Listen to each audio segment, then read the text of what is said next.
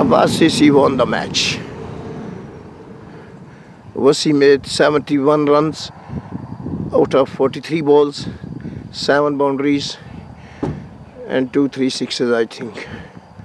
And at end of this friendly match.